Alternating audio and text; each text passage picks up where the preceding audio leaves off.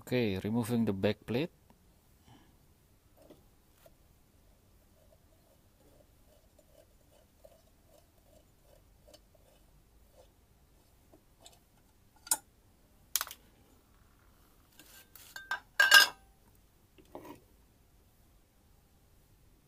This is the impeller. Looks good looks good. Okay. Next is to remove the center shaft the impeller. Uh, one thing I forgot to mention before is that we need to remove this grab screw from this place. We need to remove it before we push the press the center shaft out. This grab screw is to keep uh, the the bearing assembly at its place. So it won't move. We need to remove this grab grab screw first. Okay don't forget if you don't have the press machine like this if you don't have the press machine we can use uh, more simple way more simple tool. Okay we can we can use a hammering method. You can use hammer to press the center shaft out. So this is the this is the arrangement. You can see. Okay this is the inner shaft the center shaft you can see it's already pushed out. Uh, to some degree. Okay I use nuts and bolts with the right size so I can put it here. Then I will hammer it with the with the big heavy steel. Heavy enough. I will hammer it like this this hammer small hammer won't be enough. It won't be enough. Okay this arrangement at the bottom I put uh, support support like this. You can see the bearing is moving out already to some degree okay I use the old shit.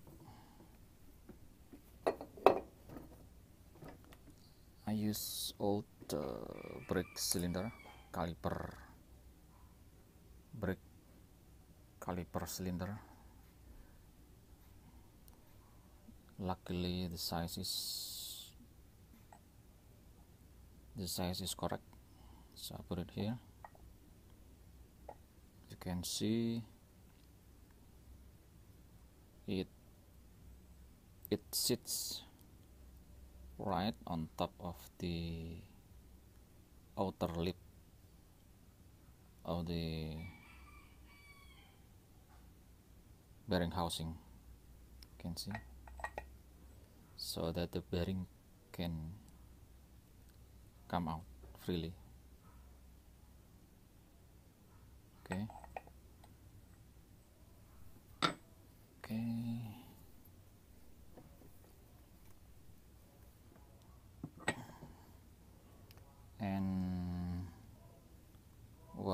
important thing is to put enough mesh at the bottom. Put, you have to have enough mesh to give the to dampen to dampen the shock when I hit the the top with this hammer. The more you have mass at the bottom the more effective the the hammering process.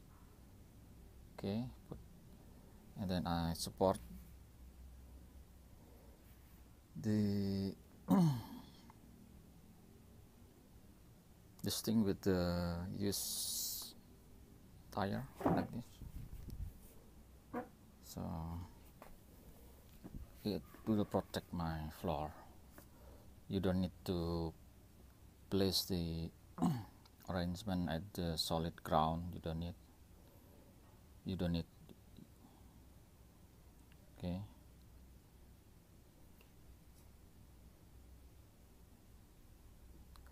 And then I placed uh, some protection on the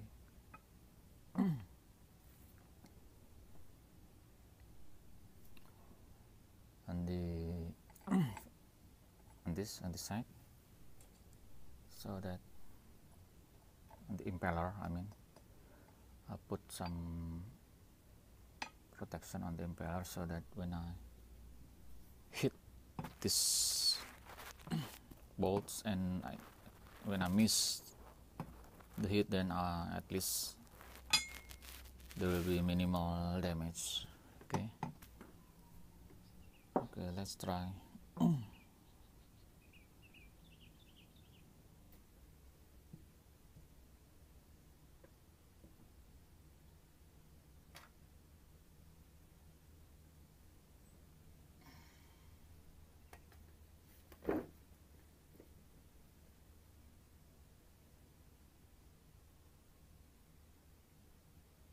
before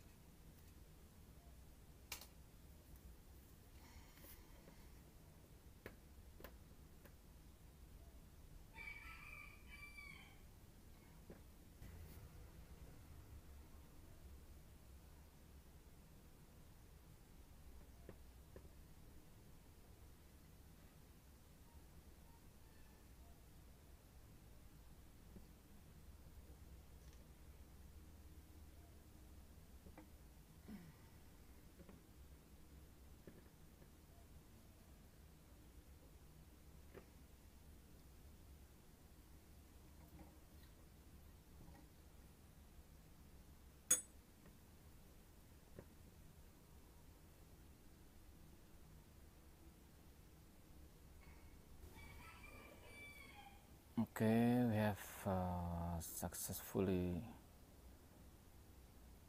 removed the impeller from the center shaft this is center shaft this you can you can see that during the impact process the impeller blades also suffer from the impact force because it sits, sits like this at the housing. But I think because the material is made from cast iron and also there are several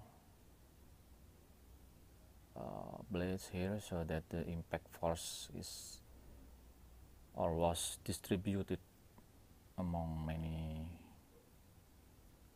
many blades. So as you can see here the impeller is still good still intact okay? So the next step maybe we have to push this center shaft further down further out. Or maybe we don't have to. Let's see okay I think I have to push this center shaft further down so that I can remove it completely. Now I'm using longer bolt like this and then I will hammer it further. Okay. I will use this as a helper so it will sit quite stable. Mm-hmm. Okay. Let's see